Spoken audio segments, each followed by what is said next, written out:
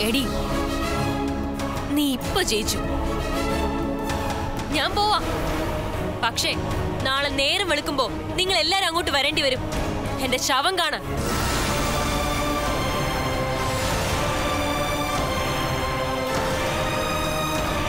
എന്റെ സമ്മതമില്ലാതെ എന്നെ ഇവർക്കൊപ്പം അയച്ച. ഇന്ന് രാത്രി ഇയാളെ ഞെക്കിക്കൊന്ന് ഞാൻ ആത്മഹത്യ ചെയ്യും. ഗൗരി ഇങ്ങനൊന്നും പറയല്ലേ നീ?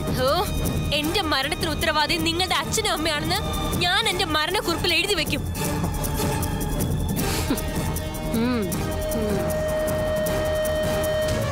വയസ്സുകാലത്ത് അച്ഛനും അമ്മയ്ക്കും കൂടി ജയിലിനകത്ത് പോയി കിടക്കാം.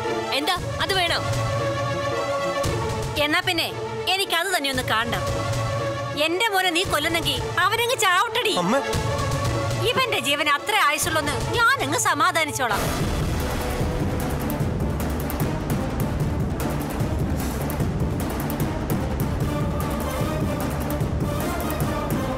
പിന്നെ ജയിലിൽ കിടക്കാനേ ഞാൻ ഇവന്റെ അച്ഛനും തയ്യാറാ.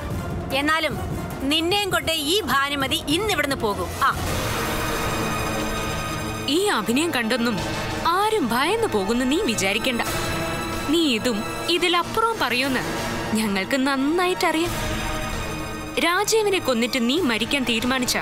നഷ്ടം നിനക്ക് മാത്രമേ ഉള്ളൂ.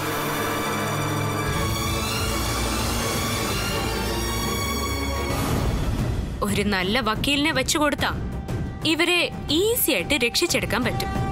അതുകൊണ്ട് അങ്ങനെ നീ ഞങ്ങളെ ഭയപ്പെടുത്തി രക്ഷപ്പെടാന്ന് വിചാരിക്കണ്ട.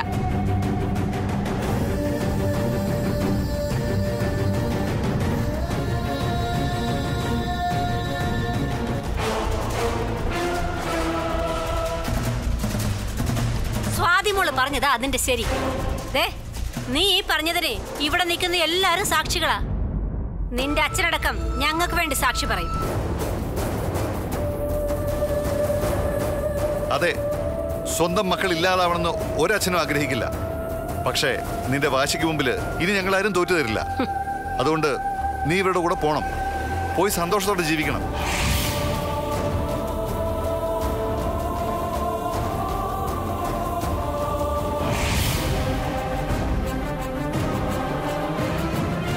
ഒരു കാര്യം നീ മനസ്സിലാക്കണം ഗൗരി. എല്ലാവരുടെയും ജീവിതം അവരവർക്ക് പ്രിയപ്പെട്ടതാണ്. ഇനി നിനക്കൊരിക്കലും രാജീവിന്റെ കൂടെ ജീവിക്കാൻ കഴിയില്ല എന്നാ നിന്റെ തീരുമാനമെങ്കിൽ പിന്നെ ഒരു വഴിയേ ഉള്ളൂ. ഡിവോഴ്സ് അത് തന്നെ അച്ഛാ നല്ലത്. ഇങ്ങനെ രണ്ടായിട്ട് ജീവിതകാലം മുഴുവൻ ജീവിച്ചിട്ട് എന്താ കാര്യം? നിന്നെ ഞാൻ പൂട്ടൂന്ന് നേരത്തെ പറഞ്ഞതല്ലേ? ഇനി നിനക്ക് രക്ഷയില്ല. നീ പോയേ പറ്റൂ.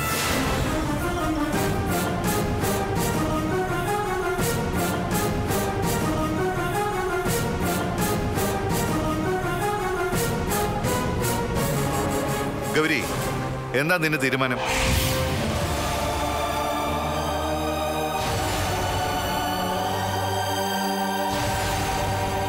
ശരി.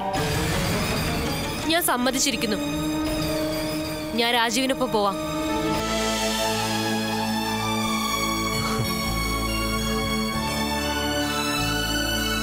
പക്ഷേ ഞാൻ പറയുന്ന ഒരു കാര്യം നിങ്ങൾ എല്ലാവരും അംഗീകരിക്കണം ഇന്നെനിക്ക് പോകാൻ സാധിക്കില്ല.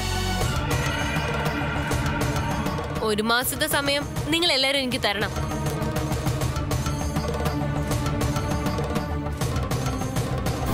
അച്ഛാ ഇത് സമ്മതിക്കരുത്. ഇത് അവളുടെ അടവാ. അല്ല ഞാൻ വാക്ക് പാലിക്കും. സത്യം. ശരി. തൽക്കാലം നീ പറഞ്ഞത് ഞങ്ങൾ അങ്ങ് വിശ്വസിക്കുക. പക്ഷേ ഇന്ന് തൊട്ട് ഒരു മാസം കഴിയുന്ന ദിവസം ഞങ്ങൾ വരും. നിന്നെ കൊണ്ടുപോകാൻ. അന്നും ഇവിടെ വന്നില്ലെങ്കിലോ? മറ്റെന്തെങ്കിലും കാരണം പറഞ്ഞ് ഒഴിവായാലോ? ഗൗരി ഒരു മാസം കഴിഞ്ഞ് നീ വരുമല്ലോ അല്ലേ? വര രാജീവേട്ട. എനിക്കിന്ന് രാജീവേട്ടനെ വേണം. സത്യം. ആ അത് മതി. അത് മതി അമ്മേ. ഒരു മാസം വരെ ഞാൻ കാത്തിരുന്നോളാം. വലിച്ച ഞങ്ങൾ പോയിട്ട് വരാം. അമ്മേ നമുക്ക് പോവാം നിക്കടാ. എനിക്ക് പറയാനുള്ളതേ ഞാൻ മുഴുവൻ പറഞ്ഞു തീർന്നില്ല. അതെ ഒരു മാസം കഴിഞ്ഞ് നീ ഞങ്ങളുടെ കൂടെ വന്നില്ല എങ്കിൽ വിവാഹമോചനത്തിലുള്ള പെറ്റീഷനിൽ ഒപ്പിടാൻ നീ തയ്യാറായിക്കോ?